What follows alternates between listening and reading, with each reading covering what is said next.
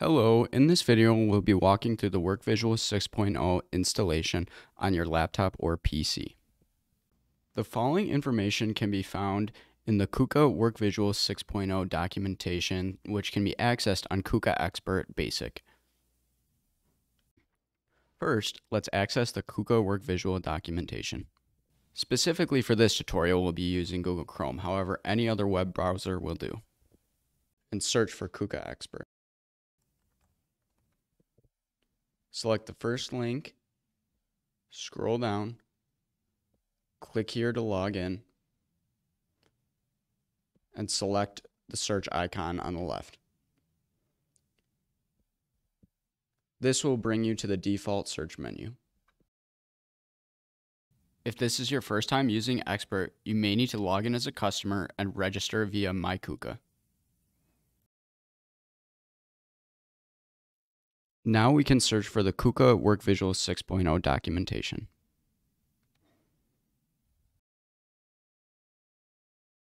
Expert is a digital knowledge database which can be accessed at any time from anywhere.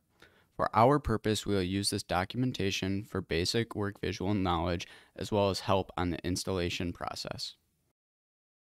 The KUKA WorkVisual 6.0 software package is the engineering environment used to support KRC4 and KRC5 controlled robotic cells and can be installed on your laptop or PC.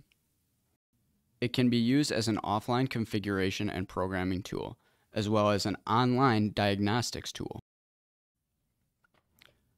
Now that we have a basic understanding of what WorkVisual is, we need to know what the system requirements are. It is recommended that you have a 2500 MHz processor or higher, 4 gigabytes of RAM, 1 gigabyte of free hard disk space, and a DirectX compatible graphics card.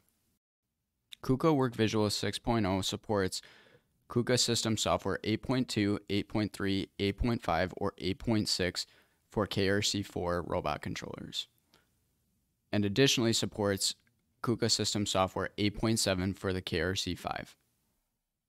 First, let's open KUKA.com. Now let's start the KUKA WorkVisual 6.0 download. Search for KUKA WorkVisual 6.0. Select additional KUKA searches, scroll down to the download center and search in the download center.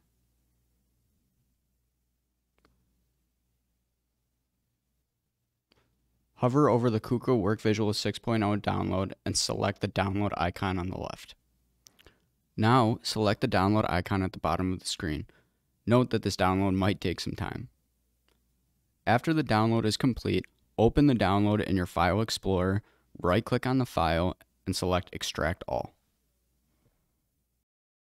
Now, we can open up the file and run the executable. If either the .NET Framework 4.6.1, SQL Server Compact 3.5, Visual C++ runtime libraries, or WinPCAP components are not yet installed, an installation wizard opens. Follow the instructions on the installation wizard so that the components can be installed and the installation can be completed. After the components are installed, the WorkVisual startup window will open. Click Next. Accept the license agreement and click Next.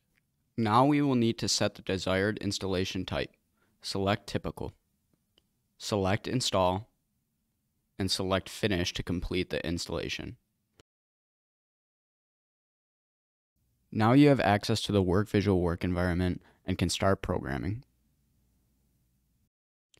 In the future, if you need to update your version of WorkVisual, you can download and install it. There is no need to uninstall the existing version. However, note that only one version can be running at a given time. Thank you. See you in the next one.